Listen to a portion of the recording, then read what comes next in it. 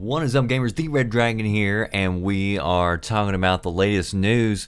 Got a couple of stories I wanted to bring to you that doesn't sound like at the beginning that it's sort of related to gaming, but I'll tie it in, I assure you. So the first one deals with Miss Teen USA. Now, I am not a big fan of pageants. I normally don't watch them unless I'm watching like a um, like a videotape of maybe one of them saying some stupid answer for a question they had, or if one of them fell down the steps or something or tripped on their dress. Don't really get into pageants. I'm more of a natural look type guy. But anyway, there was an interesting story that came out of Miss Teen USA this past week. Miss Cassidy Wolf, 19 year old native from California she was just crowned Miss Teen USA. Four months ago, she realized somebody had been trying to get into her Facebook page. Somebody from out of state had tried to gain access to it. Now, shortly thereafter, she received an email from somebody claiming that they had hacked her webcam and had caught her doing things in her bedroom that people do when they think they're alone in their bedroom.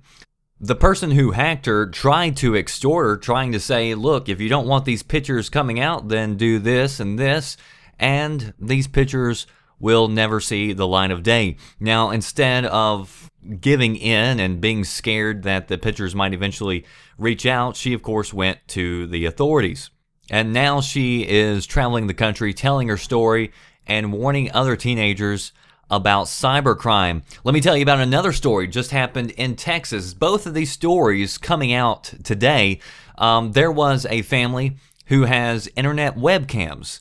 Uh, and uh, they have uh, baby monitors in their baby's room. Uh, and the, the baby monitors were, they had a camera on it. Of course, they have a microphone on it as well, as most baby monitors do. And they are connected to the internet. So the parents have the ability to see the baby as well as hear it.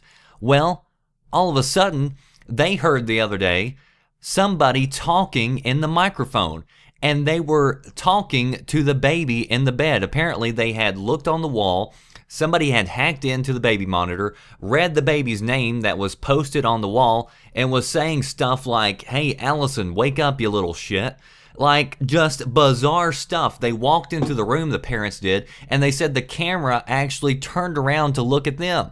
Now, the dad immediately unplugged it and started researching to find out that yes, of course, these can be hacked as well. So lesson of the day, yes, anything with a camera and a phone could potentially be hacked. And it's scary, especially when you think you are in the privacy of your own home, to know that somebody could possibly be watching you. And I think it's stories like this, just these two that happened today in the last 24 hours, that really give credence to, you know, the possibility of something eventually happening with Xbox and the Kinect. And so I think Microsoft did make the right choice by giving players the ability to disconnect the Kinect because it's better to be safe than sorry. And so for some people, they would like that little extra added benefit of being able to disconnect it. And I don't think that it's necessarily a tinfoil hat conspiracy theory whatsoever because it happens.